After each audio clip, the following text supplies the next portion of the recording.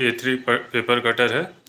Manual paper ream cutter भी बोलते हैं इसको। ए थ्री में आता है। ये आपको वाइट कलर में भी मिल जाता है। अब ये ब्लैक कलर में अवेलेबल है। ये दिखा रहा हूँ आपको।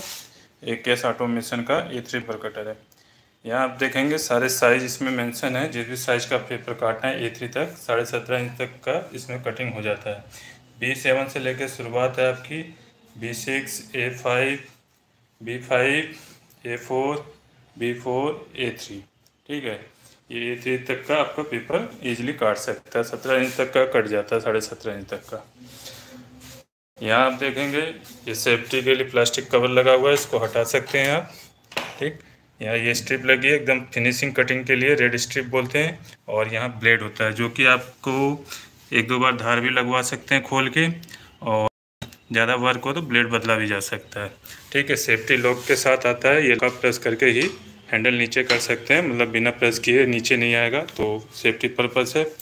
यहाँ से आप प्रेशर टाइट कर सकते हैं, जिससे आपका दबाव बन जाए और पेपर टच से मस नहीं होगा और अच्छी तरीके से काट सकते हैं। ये बैक स्पेस एडजस्टर दिया गया है, यहाँ पे आपको किट मिल जाती है, लंकी वगैरह। तो इससे आपकी हेल्प से आप इसको टाइट कर सकते हैं, हैंडल को। फ़र्स्ट टाइम ही ज़रूरत पड़ती है। बाकी अगर आपको लंबा पेपर है तो ये चीज़ आपकी खुल जाती है इसमें।